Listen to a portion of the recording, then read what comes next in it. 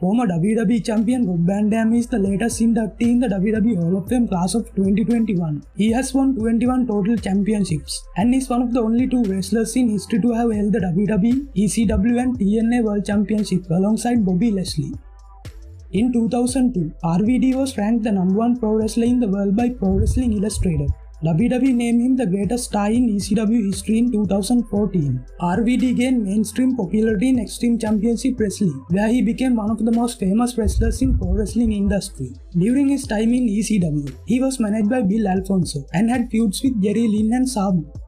On April 4, 1998, Van Dam defeated Bam Bam Bigelow to win the ECW Television Championship, a title he held for 700 days until he vacated the championship due to an injury on March 4, 2000. When ECW closed, Van Dam signed a contract with the WWE and was involved in the Invasion storyline, where several former WCW and ECW wrestlers joined forces against WWE wrestlers. After the invasion ended, Van Dam wrestled the following year as a singles and tag team wrestler, winning the Hardcore, Intercontinental, European and World Tag Team Championships.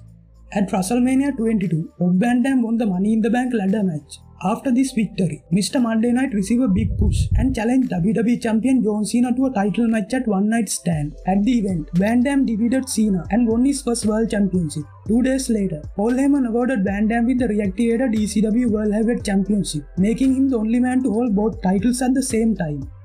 After leaving WWE in 2007, Van Dam worked on independent circuit until he signed a contract with TNA in 2010. RVD's latest run with WWE was from 2013 to 2014. He made a one-off appearance at 2014 Slammy Awards. As he's advancing age, he has decided to work a selective number of dates on the independent scene. Rob Van Dam had an illustrious career in the wrestling industry, and he undoubtedly deserves to join other legends in the prestigious WWE Hall of Fame.